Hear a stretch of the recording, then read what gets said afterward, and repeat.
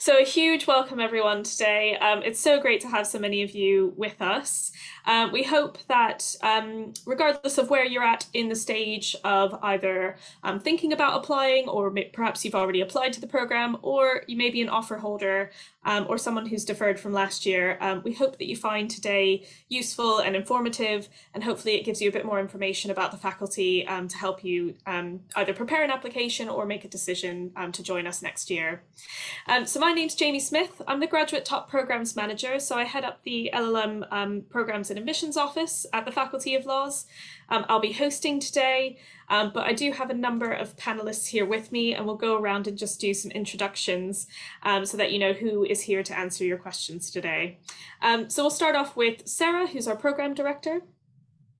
Hello, everybody. My name is Sarah Campling. I'm the LLM Program Director. Thanks very much for attending this session. Um, my role is to support the LLM students so if you decide to come and study with us here at UCL Laws, I will be supporting you along your journey through the LLM. So welcome. Excellent, thanks Sarah. Um, next up we have Jonathan Chan.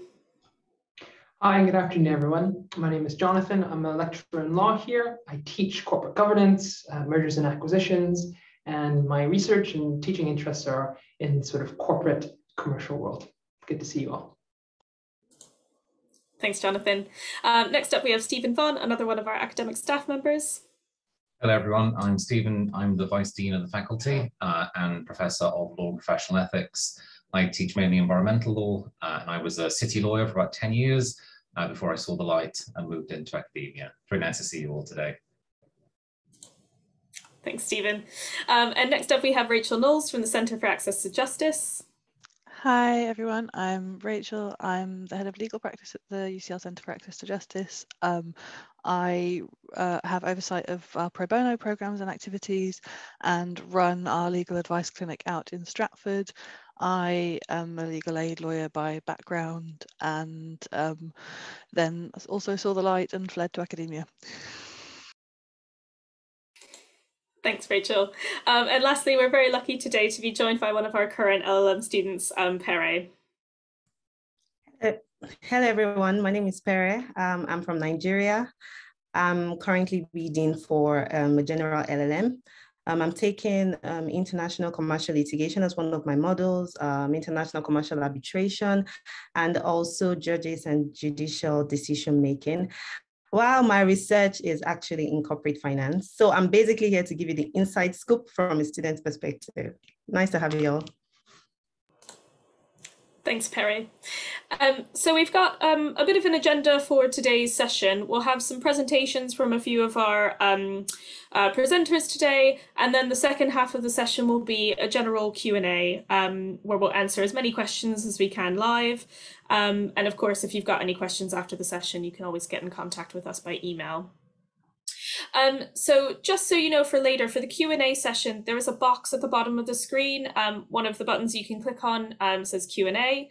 Um, that's where you can start to um, put in any of your questions by text that you want us to answer later on. Um, you don't have to wait until um, later in the session to put your questions there. You can start typing them now. Um, and then once we get to that part, we'll go through the questions that have been submitted.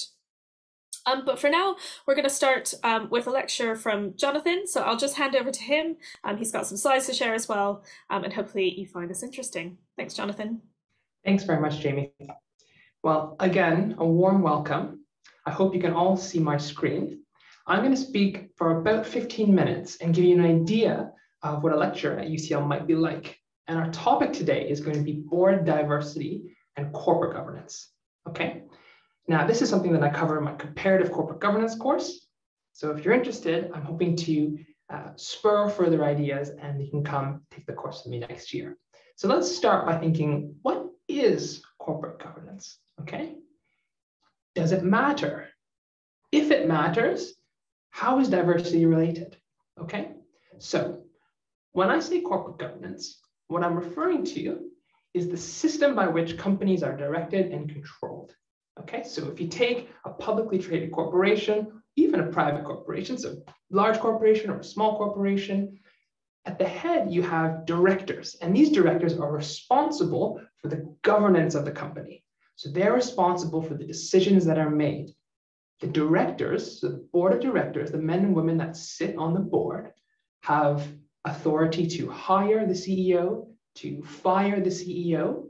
Uh, they have authority to set the strategy of the company, whether the company wants to build a new factory or expand into an overseas market.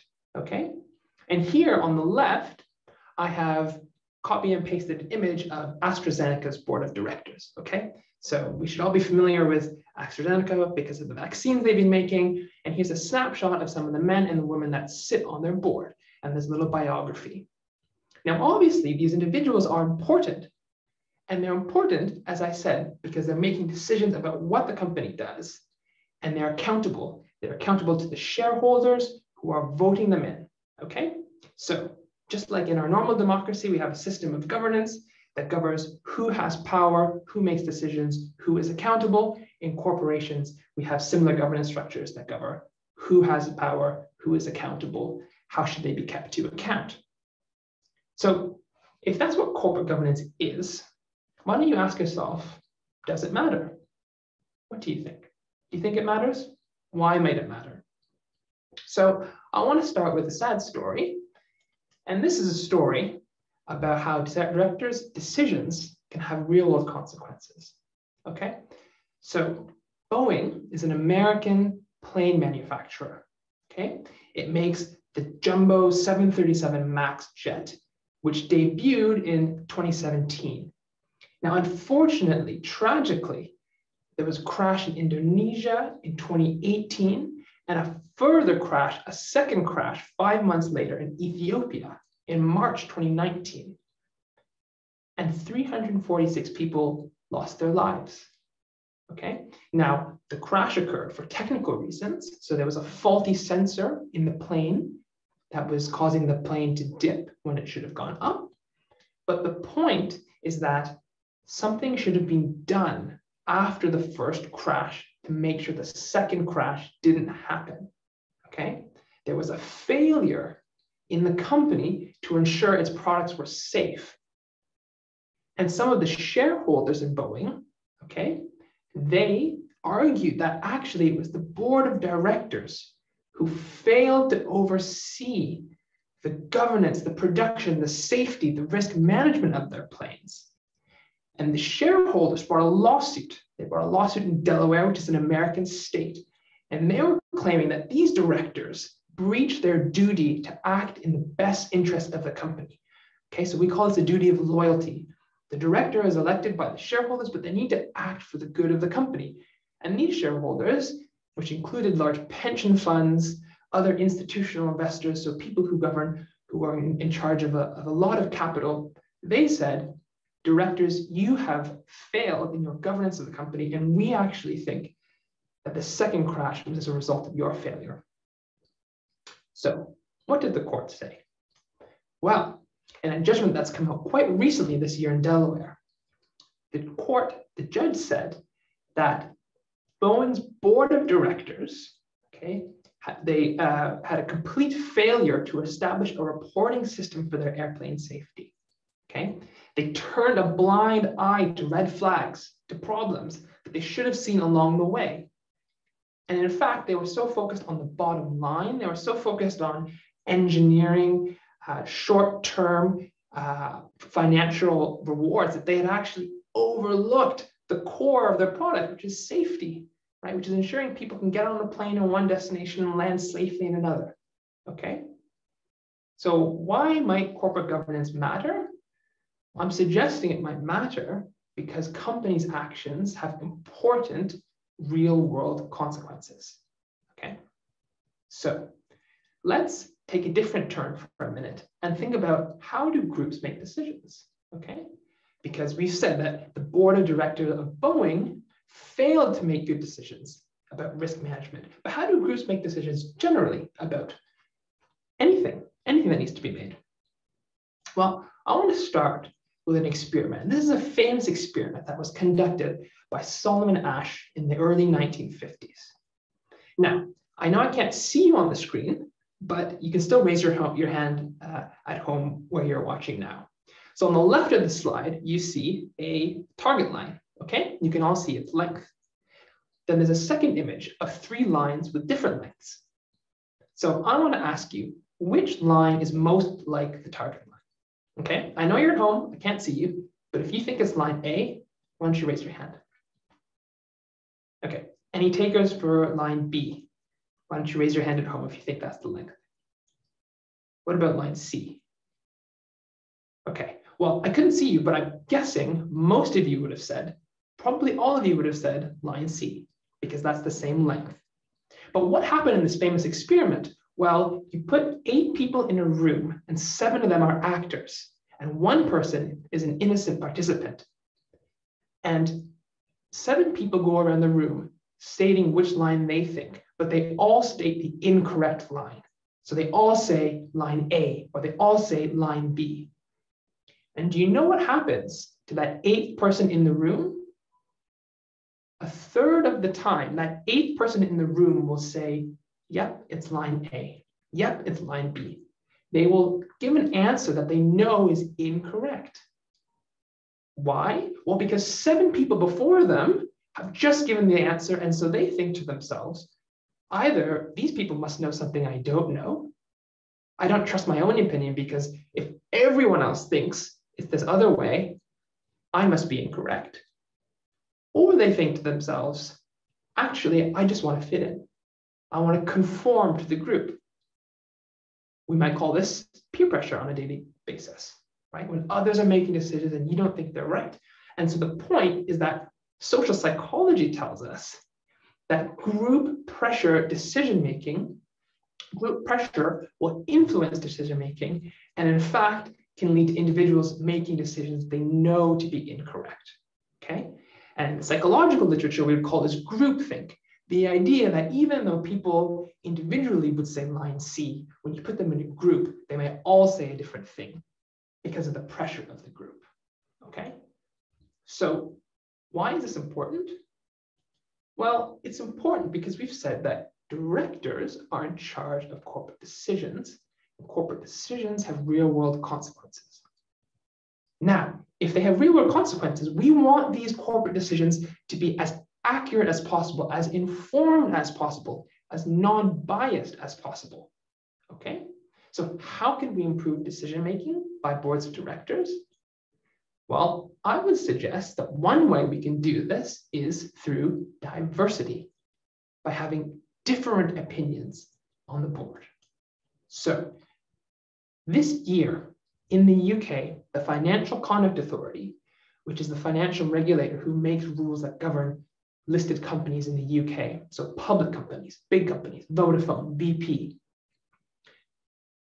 The FCA, so this regulatory agency, is proposing to have rules that would require boards of directors to have to have three things. Firstly, to have to have 40% of directors on the board be women.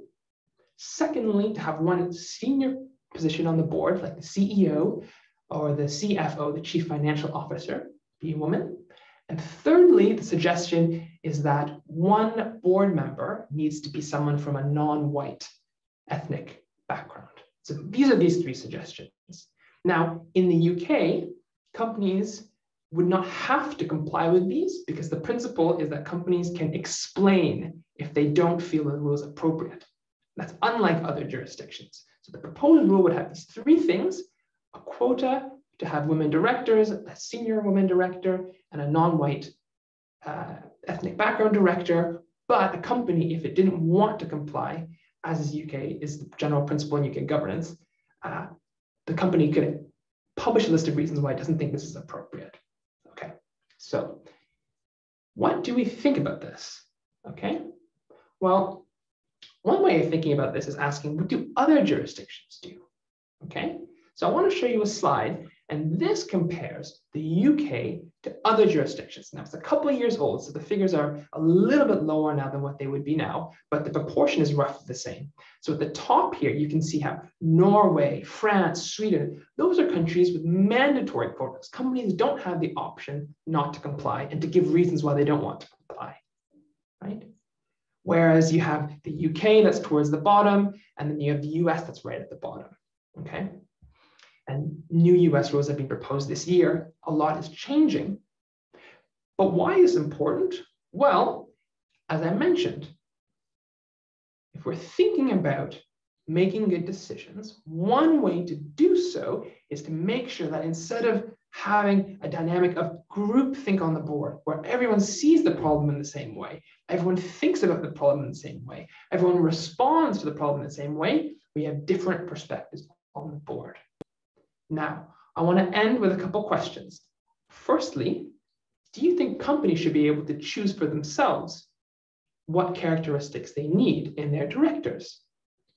So a company might say, well, this is an interesting proposal, but actually, in our cultural background, uh, we're not a UK based company. We're traded on a UK stock exchange, but we're from another part of the world where different social norms apply. We don't think this should apply to us.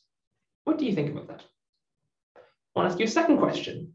What types of diversity characteristics should be in the rules? Should policymakers prioritize?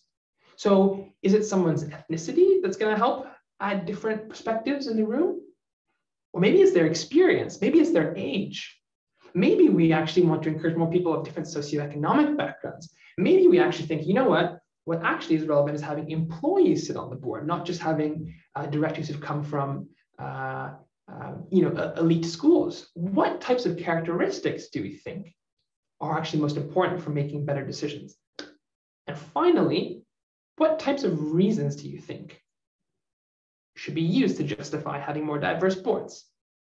You might advance reasons that we could call instrumental. So you might argue that having a more diverse board would make better decisions, right? There's really mixed research. So the research is quite mixed, showing that actually more diverse boards don't necessarily do financially better. But you might want to argue that nonetheless. Or you might want to make an intrinsic reason. You might want to say, actually, for reasons pertaining to social justice or pertaining to my own uh, ethical preferences or pertaining to what I think is right, I think that companies should have a more diverse board. There's a number of ways you could do this, but it matters how we justify the rules, not just what the rules are. So instead of my providing comprehensive answers to those three questions, I'm going to leave them as open. I'm going to say, if you want the full answers, uh, come to UCL next year and take the course. Thank you very much.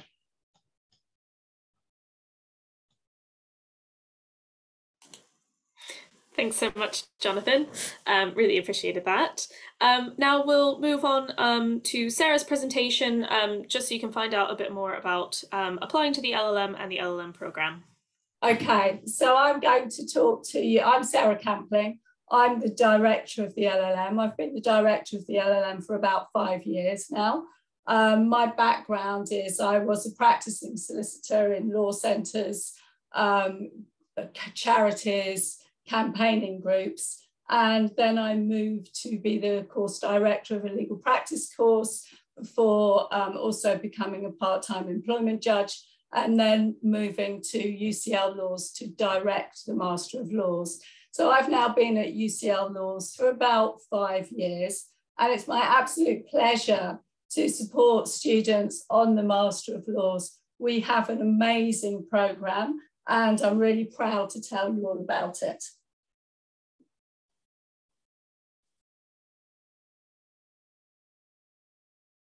So why do students come and study with us at the uh, UCL? Why do they come and study an LLM? often under, uh, your undergraduate studies, you will have done a, um, a normal, what I would call a normal undergraduate degree with compulsory subjects. And the LLM gives you the opportunity to specialize, to choose to study the subjects that you want to choose. So you can um, study subjects like uh, comparative corporate governance, which Jonathan's been telling us about. You can study competition law, environmental law, intellectual property law, a whole range of subjects. You can specialize or you can study for a general LLM. And what do our students do afterwards? Well, some of them become solicitors or barristers or become practitioners in their home countries. And some are already qualified solicitors, barristers, and practitioners and are coming to UCL to develop their knowledge further So in the classroom, you'll find a wide range of different people. Um, many of our students know that they want to study for a PhD and that they see coming to UCL to study for the Master of Laws as a stepping stone to study for a PhD. Many want to teach law and we have a program for teach for law teachers, which is an optional extracurricular activity that you can engage with if you want to. Um, many students finish their law degrees and are not really sure what to do next. So the Master of Laws gives you the opportunity to reflect, to think about what path you want to take, think about whether you want to be a practitioner or an academic or what's next for you, at the same time as studying law and spending a very enjoyable year in legal London. And if you look at the academics that will teach you on the course, have a look at the website. The um, work of the academics and their CVs are very impressive. You can see that our, the people that will teach you have been in cut, sorry, have been involved in cutting edge research, have helped to shape government policy, have influenced national and international law and practice. So we have amazing academics that will teach you. And also, we're at the heart of legal London. So being in central London means that we have connections with the legal world. If you have no lectures on a Wednesday afternoon, you may want to choose to walk to the Strand and go and observe a hearing in the Royal Courts of Justice. Or you may want to choose to attend um, the UK Supreme Court, go into the building and observe a hearing. The other thing which is great about UCL LLM is the ethos of the faculty. So students are really supportive of each other. Um, it's a very friendly place and it's also a very diverse course. So if you look at the students on the course, we have about 300 students on the LLM and they come from at least 50 different countries from around the world. In the classroom, you will be studying with students from every country that you can imagine from Germany, Colombia, Kenya, Japan, Thailand, Greece, Ghana, every country you can imagine will be, students from every country will be with you in the classroom. And the Master of Laws itself. Well, as you probably know already, if you want to apply for a, if you want to study for a specialism, you need to apply for that specialism. And there are 14 different specialisms on the LLM. So they include areas such as intellectual property law, um, environmental law, corporate law, human rights, international law. Have a look at the website at the different specialisms. And also look at the massive range of modules. So the modules for next year have not yet been approved, but you can see the modules that we're teaching this year you can see that there are about 50 different modules. And again, they cover a vast area. So we have modules ranging from cross-border merger and acquisitions to decolonizing the law, human rights at work, com international commercial law to international humanitarian law, judicial review to company law, children and their rights, banking law, huge variety of modules and as well as the taught modules. And most students will do four, three times 45 credit taught modules or a combination of half modules. As well as that, a quarter of your course is a research essay. So again, that gives you the opportunity to lead your own education. You can choose the topic that you write your research essay about, and we will support you with lectures, workshops, and a supervisor in order to write a research essay. The other thing that's special about UCL Master of Laws is that it's a 10 month program. So you will finish the Master of Laws faster than most students on most on 12 month programs, which means that you can enter the workplace earlier and that you have the opportunity to apply for internships and vacation schemes at law firms over the summer period. We have amazing extracurricular activities. I'm not going to talk about all of them, but you should have a look at the website. So, for example, we have a very uh, popular academic legal writing course where, uh, which runs over two terms, where students are taught about obviously legal writing, reading, how to write essays, note taking, exam preparation, very popular course. Then there's Law Without Walls, opportunity to work internationally with students from other countries. If you're interested in writing academic journal articles, we have our own journal. Um, we have shortly uh, my colleague who's going to talk to you about the Centre for Access to Justice. We have the Public International Law Pro Bono Project, and we have lectures. Um, in the faculty, we frequently have events and lectures online and in person. Uh, you may want to get involved in the Graduate Law Society, you may want to run for election. Uh, the Society arranges all sorts of events, uh, careers events and social events. And whilst we're on the subject of careers, we are particularly lucky in the UCL laws in that we have a dedicated laws careers consultant who's Stephen Gurman, and he provides support to UCL laws students so he's a specialist in legal careers and he provides all sorts of opportunities, such as uh, practice interviews, for example.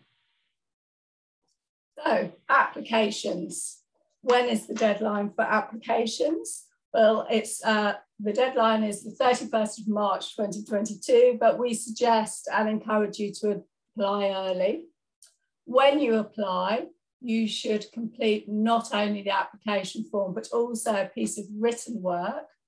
And that written work needs to be 750 words long or up to 750 words long on a topic of contemporary relevance in your area of legal interest. And as well as your written work, you need to provide us with one referee because when determining who to offer a place to, we will look at your written work, your reference, and your application form, including your personal statement. But what are our entry requirements? Well, firstly, we're looking for a good 2-1. What does that mean? It means an average of 65% or above across all years of study, or the international equivalent to that. If you haven't quite got an average of 65% and above, and we have places to get places available, we will look to see whether we can offer you a place depending on your motivation, analytical and reasoning ability, and your communication skills, which we will assess by reading your written work and your personal statement. And of course, we'll also look at your reference. So what should I write on my personal statement on the application form? So we'd like to hear from you as to why you'd like to study law at graduate level as opposed to undergraduate level. So we expect you to know the difference between studying law at undergraduate level and postgraduate level and why you'd like to study particularly at UCL laws. We'd also like to hear from you about your background and how your background is relevant to the LLM that you want to study. We want to hear from you about your future and how you think the graduate, the graduate study that's studying for an LLM will help your professional ambitions. We'd like also to hear from you about the taught modules that you're interested in studying. Obviously, we won't keep you to the taught modules that you talk about on your application form, but we'd like to ensure that you've engaged with the types of modules that the university offer. If you've chosen a particular specialism, we'd like to know why. And we'd also like to know the field that you're considering exploring in your research essay, what you're considering writing and researching about independently to show that you've given consideration to those things.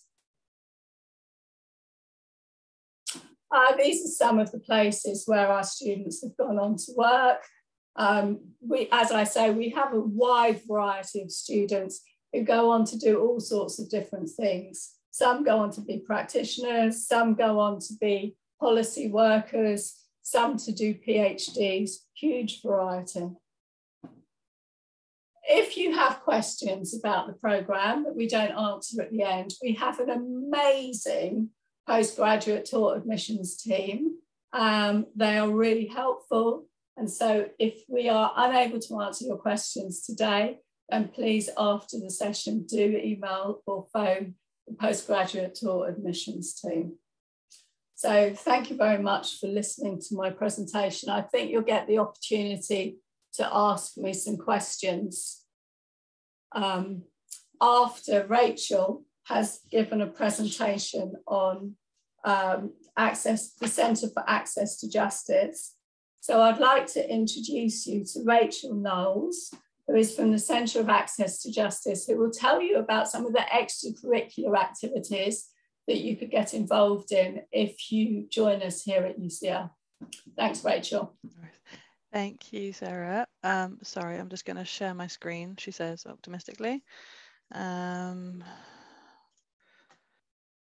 okay. All right. Okay, perfect. Um, so um, I'm just going to try and give you a whistle-stop tour of the Centre for Access to Justice as quickly as I can. Um, so the Centre, uh, first of all, I, I guess the question is really uh, what's the Centre for Access to Justice and also what's pro bono and why should you do it? Um, first of all, I'm going to ask the question, what's pro bono and why should you do it? Um, pro bono traditionally means for the public good, um, and you might think of pro bono as lawyers providing legal advice for free. Um, at the Centre for Access to Justice, we kind of look at it at a bit of a broader approach and it can include providing free legal advice but also public legal education widening participation activities research working with national and international charities. We have lots of partners that we work with as well. Um, so lots of different types of opportunities for students to get involved in um, kind of relevant legal work that might uh, increase their experience but also help the community in some way um, so doing pro bono, there are lots of good reasons to do pro bono, um, not least because you get relevant experience for your kind of future career development, but you're also in a really amazing place in, in your careers where you can make a difference to the community around you and to people who don't have the legal knowledge um, that they need to uh, make good their rights and entitlements. So um, in London in particular, there's a huge amount of need for free legal advice and um, with the cuts to legal aid that have taken place in the UK, um, there's kind of more need for pro bono advice than ever before. Um, it also gives you an opportunity as law students to put um, the reality of some of the things you're learning in theory into practice and to understand how um, kind of the law, the way law intersects with politics and societal issues, and also develop lots of really relevant skills for your future careers. Um, the What's the Centre for Access to Justice? So we're a teaching and learning unit within the Faculty of Laws and we were launched in 2013. Our key mission is to promote access to justice through research-led and teaching activities. We have three kind of key arms. The first is student engagement and opportunities. So we have a, a really big pro bono program, um, which I'll tell you a bit more about in a minute. Um, but we have lots of different types of activities. We have uh, activities which we do in partnership with external organizations. Um, we have activities that we run ourselves from the Centre for Access to Justice, and we also have uh, student-led activities, which are kind of student pro bono um, activities, which are run by a committee of students. Um, we also run events. Um, uh, relating to pro bono issue, uh, kind of pro bono activities or uh, public interest careers, sort of all sorts of things that might be relevant to access to justice. And we also have a student pro bono committee who we work with together um, to advise us generally on what students might be interested in and also to promote student awareness of access to justice issues. Um, we have a teaching program. We have on the LLM, we uh, teach a module called Access to Justice in Theory and Practice. Um, and we also have a legal advice clinic out in Stratford, which is called UCL ILAC, and I'll tell you a bit more about that as well. Um, I'm not going to read you all of our aims and objectives and what we do, but you can kind of see we have a very broad range of aims and lots of different activities that we do separately, which I've already mentioned in part. Um, so in terms of talking about student engagement opportunities, uh, we have lots of different projects. Um, I mean, this year, to give you some examples, we've got uh, people working in various advice agencies like a CAB um, or at our, uh, the University of London Refugee Law Clinic. We are running a therapeutic advocacy project, which is um, based at a school and the students will be working in partnerships with psychotherapists and social workers and teachers to deliver support to families of children who need um, kind of extra support in the school and working with local authority social services teams to try and help those families access that support. Um, we have public legal education projects such as our grassroots project where we deliver workshops in schools about human rights issues. Um, those are just a few I can think of at the top of my head, but we have about 20 projects roughly running this year for students to get involved with. Oh, we're also doing some research with justice, um, so there's sort of research projects as well. Um, we add projects throughout the year and we also allow students to have the opportunity to put forward a, a, proposal of a project that they want to run themselves and if it's viable we'll try and support you to run that project. Um, we've talked about events already. We run relevance events around, especially around public interest careers as well. We try and make people aware of the career alternatives to the big city for those of you who might be interested in that. Um, and the pro bono committee I've already talked to you about a bit as well. Um, the other thing that I wanted to tell you guys about, which I think is, well, I mean, I'm a little bit biased because I sort of set most of this up, but I think it's a pretty cool legal advice clinic. Um, we set up a legal advice clinic in Stratford, which is um, close to where uh, the UCL East, which is going to be an additional campus for UCL is going to be based. Um, we're in the heart of the community in Stratford on Romford Road, and um, we provide legal advice and representation on both a pro bono and legally aided basis. We are the only university in the moment um, in the whole of the UK that has a legal aid contract. So we're able to provide a full service to clients and also give students the exposure to working on legal aid matters and understanding how legal aid works in the UK. Um, we provide advice in basically in social welfare law, which is welfare benefits, housing, education law, community care law. Um, and we have we provide full casework. So unlike a lot of other university legal clinics, we represent clients from the beginning to the end of their case. Um, we represent them at tribunal if we need. Uh, we are able to instruct barristers to litigate on cases if we need to. Um, so it's a kind of broad range of really exciting acti activities and work that we can do out at the clinic. Um, and yes, as you can see, we take on quite a lot of clients and cases each year whenever we're able to. Um, I hope that that's given you some insight into our pro bono work. I would say that even if you're interested in uh, careers that don't involve social welfare law, it's still really interesting and useful to do pro bono work, and it will um, give you a lot of insight into kind of a different world and might be something that you take with you no matter where you go in your career. Um, and I'd obviously be very happy to answer any questions you have about this. I will now hand back to Jamie, I think, for questions. yeah. Excellent. Thank you so much, Rachel. Um, you can go ahead and um, stop sharing your screen now as well. Yeah, lovely. Um, actually, Rachel, I'm going to put you right back on the spot. Um, so we have had quite a few questions come through. Um, a lot of questions about um, applications, written work, personal statement, which we'll get to. Um, but one has just come in um, about the CAJ. So I thought, why don't we just start with that, if you're happy with that, Rachel. So this is from one of our attendees. They've asked, what assistance can international students oriented in a different legal system render for the? Um, I've always been interested in pro bono work. Thank you the legal system that you were trained in does not matter for the purposes of pro bono. The fact that you've got the ability to think um, with a sort of legal brain and um, use your kind of the skills that you've learned in your uh, legal degree, it doesn't really matter um, what legal system you've come from. You'll be trained, you know, that even students who are trained in the UK legal system will not have huge amounts of knowledge for using it in practice, the areas of law that you'd practice in in pro bono work might be very different to what you learn in your undergraduate degree. So really the thing is just to, you, will be trained in whatever you need to know so you can do all the same activities as everybody else. Um, we have lots and lots of international students doing all of our pro bono work. Excellent. Thank you so much, Rachel. Um, great. I think we'll um, go ahead and get on to the bulk of the um, questions that have come through um, through the Q&A chat now. Um, so if you, um, again, have a look if there's anything that you want to ask that you haven't put there yet, if you click on the Q&A button on the screen, you can add your question there. Um, so Sarah, very sorry, the first few questions are going to be a bit um, concentrated for you because we've had a lot of different questions about um, the application, um, again, uh, written work and personal statement. Um, and I think you covered quite a bit in your in your presentation. Um, but I think just to start us off, if you're happy again to maybe just summarize a couple of key points about what makes an excellent application to start with.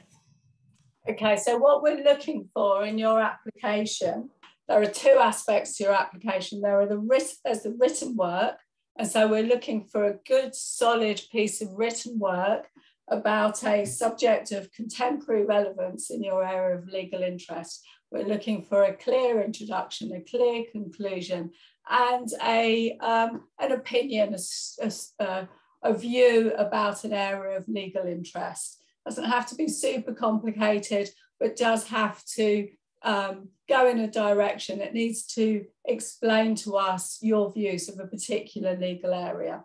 So we're also looking in your personal statement for interest and enthusiasm relating to the LLM program. We're looking to see whether you have engaged with the modules and the legal area that you want to study, that you've thought about what you want to study and why you want to study it and why you want to be a postgraduate student at UCL. And we're looking at that content to decide whether you have shown evidence of motivation to study and also analytical and reasoning ability and good written communication skills. So that's what we're looking for in your personal statement and your written work. Great, thanks so much, Sarah. Um, a couple of uh, quite specific questions around the written work. Um, can the written work component of the LLM application be work that was previously submitted at the applicant's current university? Um, no, we wouldn't really expect you to submit the same piece of written work that you've already submitted for a, um, for a university assessment. The piece of written work that you submit has should be no longer than 750 words. And I would imagine that most work that you've submitted at a university would be longer than that. Um, and we would expect you to um, follow our directions and we would expect you to do a specific piece of work for our application and not just to send us one of your pieces of work that you've already submitted. Could be on the same topic though. You may have written something very interesting about a very inspiring topic, but not the same piece of work. Great, thanks, Sarah. Um, and then a last question around this area, um, just some, again, sort of general questions around the written work. Um, is there any type of referencing that should be used? Um, does it need to be on a recent development in a legal area?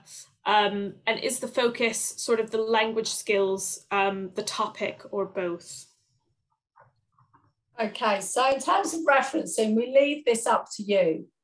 Okay, so this is um, an assessment of your ability to write a piece of written work, but you need to also decide whether or not you're going to provide referencing, and if you are, what type of referencing uh, system that you want to use. So we leave this to you to decide. And that's one of the things that we might take into account when we're looking at the piece of work as a whole. Um, and the topic is entire, also entirely up to you.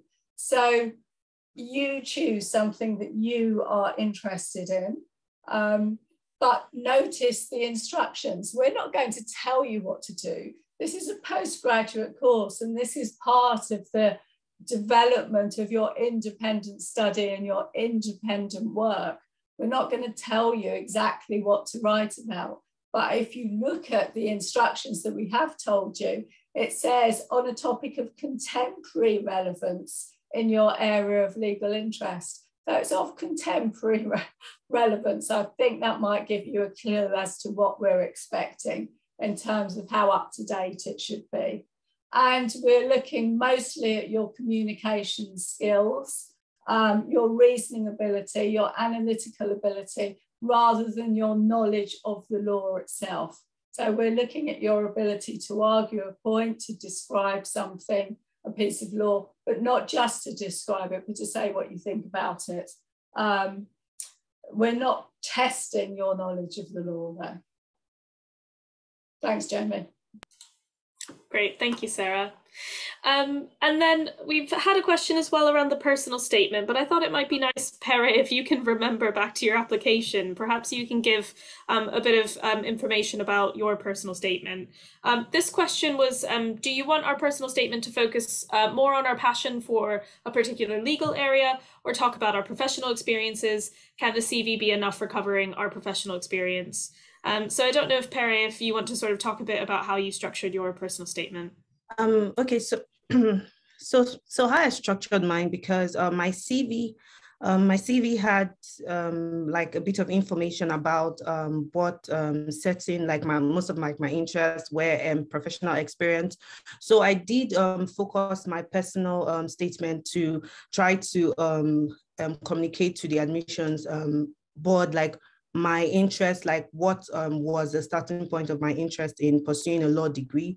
Um, so I did that and then also um, just um, chipped in um, like certain other things I've done like along the way to sort of like build or develop myself in that regard. And then like my future goals, what I hope um, I'm going to like achieve with this um, with um, the LLM. So that was basically um, how I structured. I left so many, um, I did not fill my personal statement with so many details I should um, and can be communicated in the CV because you're submitting both. So I think you should just use it to try to communicate since that's sort of like um, the only medium you have to communicate with um, the admissions officer. Great, thank you, Pere. Um, and Sarah, one last panicked question from somebody who's already applied. Um, so they've already submitted their personal statement, but they didn't mention all the points that you um, pointed out in your application. Is that going to weaken their application? We don't tick off the points. We look at, we review the personal statements as a whole.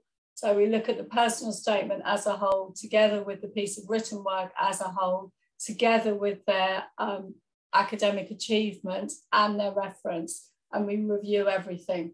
So I would not worry too much. Thanks, Sarah. Um, we do have quite a few other questions around the application um, process, which I'll come back to in a bit. Um, but just to kind of shift focus um, for another topic, probably something that's um, on everyone's mind. Um, one attendee has asked, is it likely that we'll do online learning? Coronavirus becomes an increasing concern next year. Um, so at this point, we, we can't really confirm um, teaching plans for next year. I don't know if Sarah, if you want to sort of say anything about that in the first instance. And then I thought it might be helpful to hear from our academics and from Pere as well about how teaching's been going this year, um, how it was in the pandemic year as well. Um, and we can at least kind of speak to how teaching is ongoing for the moment. Yeah, unfortunately, we don't know. If you can tell us what's going to happen next year with the pandemic, that would be really useful to know. And then we can, uh, it would help with our planning. Um, we don't know how we're going to be delivering next year. We hope that we're going to be delivering face to face. This year, we've delivered a combination of face to face, hybrid, online. Um, most of the classes have been in the classroom. We'll, perhaps we could ask Pere to talk about her experiences this year. The year before last, the course was online. So all I can say is that we are really good, the UCL Law's academics are really good teachers. And the feedback when the course was online was absolutely excellent. Some students preferred it. Um, so I would say don't worry the court, we can't tell exactly what's going to happen. We can't predict the future, but whether the course is delivered online or face to face, you will have a good teaching and learning experience at UCL. Uh, Steven will probably talk more about um, the plans for next year. Yeah, Steven, I feel like can you cover three academic years of um, information in your response? So perhaps you can speak about um, 2020 2021 that was fully pretty much fully online. This year which is a bit hybrid um, and yeah any any gossip on the ground about next year? I think the most important thing to remember in all of this is that what we want for you is for you to have an exceptional educational experience. And actually that can happen whether it's in person or online or hybrid. Um, and that is what drives everything that we do. So, you know, the, the years that Jamie's talking about, the first year where COVID hit, we'd been in person for term one, moved to online in term two. The following year, we were online for the whole year. This year, we've been in person uh, for this term. Um, and um, I think one of the really nice things is our ability just to switch when we need to, when, when the data suggests to us that it's the most sensible thing to be online rather to be in person.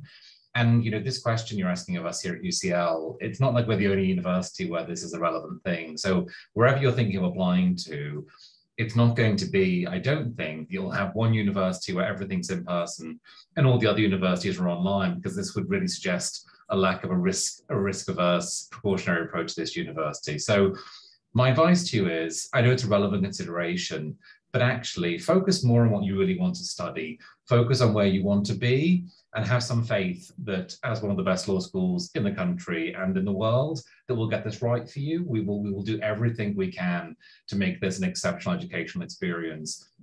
The joy of this master's program is that we just have phenomenal students from all over the world every single year. And we come together as a community to engage in really complex, challenging, interesting legal questions.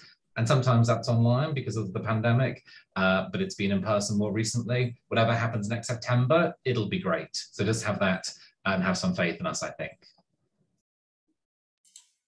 Thanks, Steven. Um, and Pere, yeah, I don't know if you're happy to sort of, I think from your um, module selections, you probably have a mix of some online learning and some face-to-face learning. Um, yeah, just practically how you found that this year um, and what your experience has been like.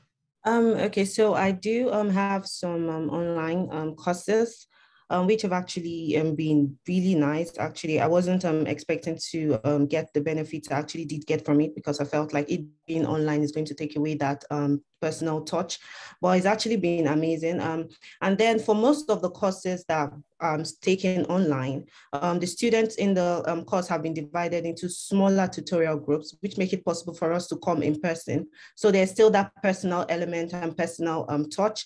And then also there are like other smaller groups, like the study groups, the buddy scheme, which is like a mix of common law students and civil law students from civil law jurisdiction. So um, yes, some of the courses have been online, but the quality of learning has is unmatched actually. And then the other um, the other steps that the uh, faculty take to ensure that we get that total experience, we're learning and then we're also communicating with our peers is has actually been amazing thus far.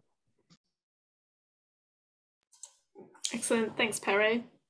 Um, Great. Um, just moving on then to um, a few other questions, kind of back on the application process. Um, Pere just mentioned this in her response, actually, but Sarah, you can speak to this as well. Um, this um, applicant wondered if we accept students from a civil law background. Absolutely. Yes, uh, we accept students from civil law and common law background. Um, if you're from civil law country, we have a little introductory lecture in our induction for students from uh, civil law backgrounds. We also have introduced a couple of years ago a buddy scheme where we buddy up uh, students from civil law countries to, with students from common law countries so that they can get the opportunity to discuss informally outside the classroom the difference in their different jurisdictions. So yes, the answer is yes, definitely. Thank you, Sarah. Um, and another question about um, references for the application. So this is someone who would be joining the LLM as a mature student, so they don't have any current academic references. Um, do we have any suggestions about who they should use as alternatives? Mm, that's a really tricky one. Um, it's good to have an academic reference as long as it's not really, really old, but it, it is good to have an academic reference if you can get one. Otherwise, somebody that knows something about your writing skills and your research skills. So probably a work reference would be um, okay, not as great as an academic one, but it would be okay. But you would want to make sure that they spoke about your research skills if you have, if you've got, if they have experience of that and your writing skills. Thanks, Sarah. Um, and then we had a few questions related um, to specialisms and applying to specialisms or the general LLM, um, which I think I can cover um, together. Um, so one attendees asked if it's possible to join the general LLM and then select a specialism later. Um, the way that the program is set up, it's ideal if you apply to the program that you plan to study, so whether that be the general LLM or a specialism. Um, it's best if you can make that decision at the application stage um, because everything else kind of falls into place after that. Um, there is an opportunity um, once you've enrolled, um, but before you finalize your module selections, um, if you do decide that you need to change programs, um, that can be done within the student record system. However, it's just important to note that that can affect your module selections um, and it can delay it sometimes as well. So that's why we recommend at this stage to apply when you've made that decision and then that way, when it's time to make your module selections um, later in the summer, closer to starting the program after you've enrolled, then everything is ready for you to go to do that. Um, but if you're still sort of changing things around your specialism or the course that you want to study, um, there are implications then for you to choose your modules um, at that time because you need to be on the correct program to be able to choose your modules. Um, and uh, someone else had asked if there's any limited spaces um, on each one of the specialisms, uh, which there's not. Um, so we don't cap the specialisms. Um, we're looking for kind of an overall um, intake group across the LLM. Um, so you need not worry that any of our specialisms will be capped and that you can't apply to it if it's too full.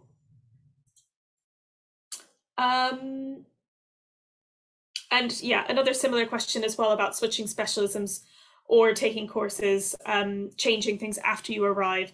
Um, definitely, once you've chosen modules, there's um, no opportunity um, to change. So, really important that you make that considered decision now.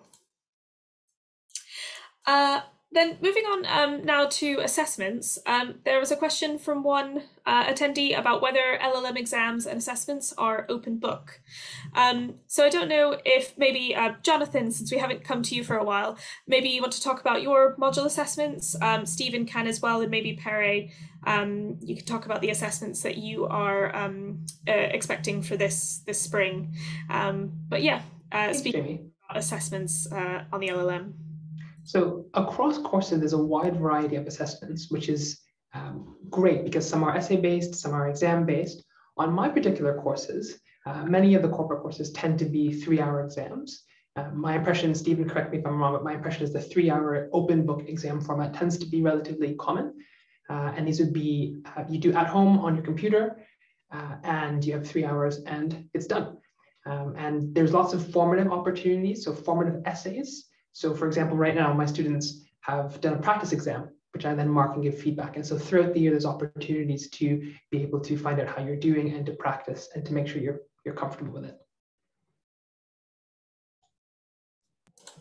Thanks, Jonathan. And Steven, um, before you head off as well, not sure if there's anything you want to say in regards to assessments across your modules or across the faculty.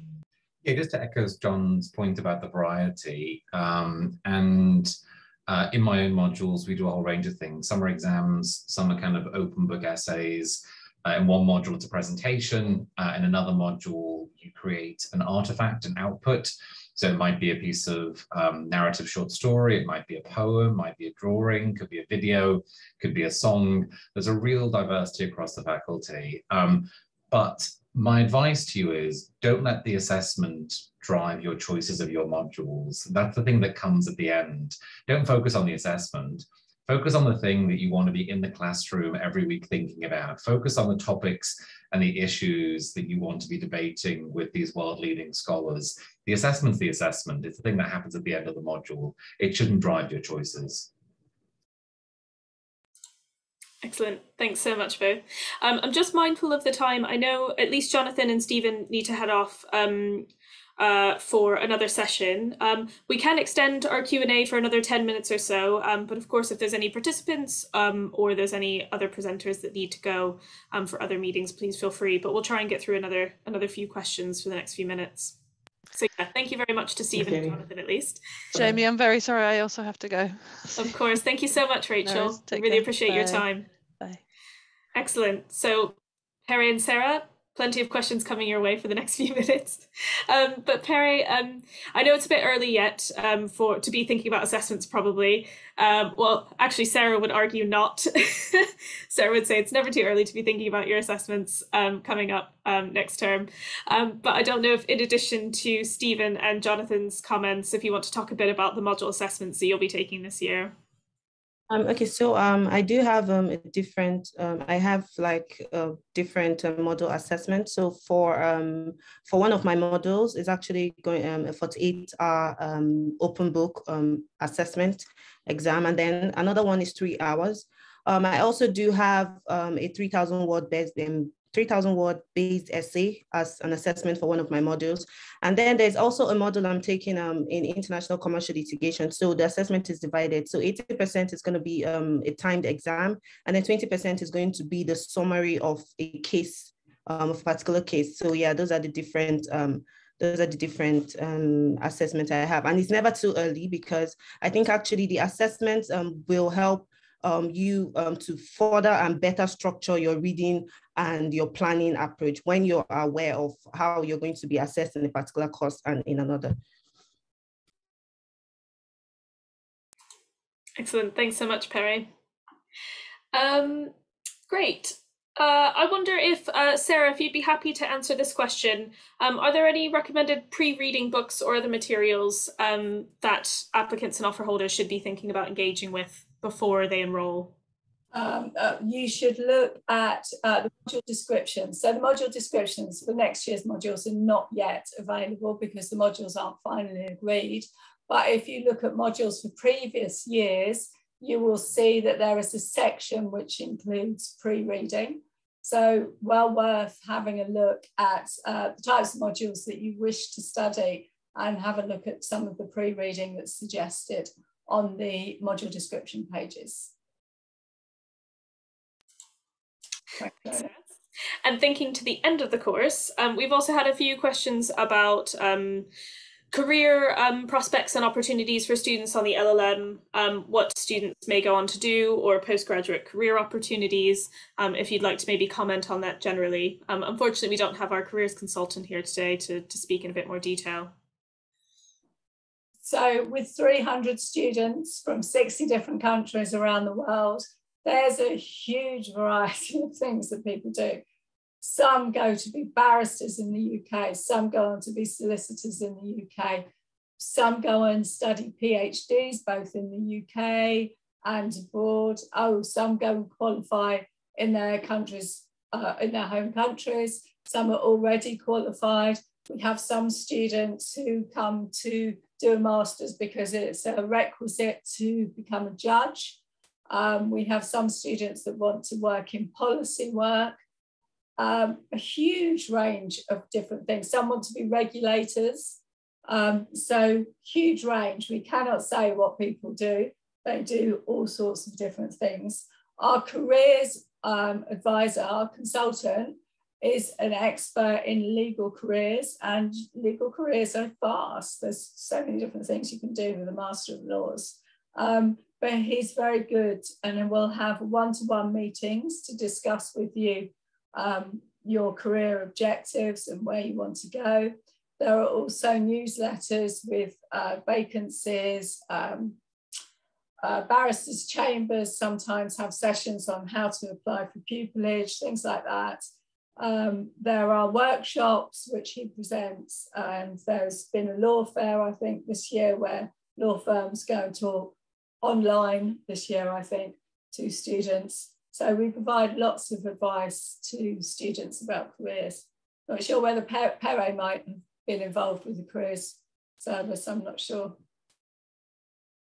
Yes, um, there's actually been um, a lot of careers events um, depending on the particular um, route you want to choose. If you want to, if you're considering um, qualifying maybe as a solicitor or barrister. So there has actually been a lot. And um, there have also been like opportunities for us to um, have, um, to ask questions um, to these law firms um, there has actually been a range of events that particularly um, are very interesting and will help you if, like me, you were not really very sure of what the next step was going to be. So these events, these careers events, um, they are very um, um, they're a lot and very helpful. And the fact that they also even give you reminders, timelines of certain applications you need to make, and also help you generally with um, your formulation of your CV cover letter. So there's actually been um, a lot um, that is going to be very essential considering postgraduate um, um, um, academy and postgraduate careers in general. Excellent, thank you both. Um, we've had a question as well um, asking about the average size of classes or seminar groups on the LLM program. Um, as a sort of general reference, I mean, these can really vary year on year, um, depending on the number of modules that we're running, depending on student selections. Um, there's a handful of our sort of most popular corporate or commercial law modules that can sometimes be upward of 100 students, um, but the majority of the LLM modules can be kind of anywhere between sort of 15 and 40 um, LLM students for um, sort of most of our seminar courses. Um, so again, this can really vary because uh, we can't really predict year on year which uh, module students are going to pick um, and what their choices will be. Um, but we do end up getting quite a range of um, module sizes across across the LLM. Uh, and then Sarah, uh, there's a question as well about would you encourage students studying a specialism to choose modules solely in their field or to try and diversify selection? I love those sorts of questions um, because it's really up to you. I wouldn't advise students to, I would advise students to do, to study what they're really interested in and what they have a passion for.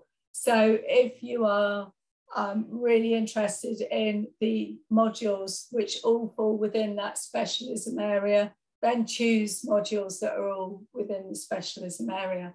Different students do different things. So we find some students who will choose the majority of modules in the corporate area, but they might do one half module in human rights out of interest. Other students will decide to focus all of their modules in intellectual property law. Some might decide to do a combination of intellectual property and competition, for example. So it's really up to you. There is no right answer. It's up to you as to what, what area that interests you. But my advice is that people usually do better in studying something that interests them. So go for, read carefully the module descriptions and think about what you can, um, what you want to spend all day reading about. Excellent. Thanks, Sarah. Um, I think um, being mindful of the time, we'll probably go ahead and wrap up there. Um, we've been able to get to most questions, um, but we may not have been able to answer everything. Um, a couple of very quick sort of last questions that have come through. Um, one was asking whether or not the classes that we offer are LLM specific or if they're done together with LLB students.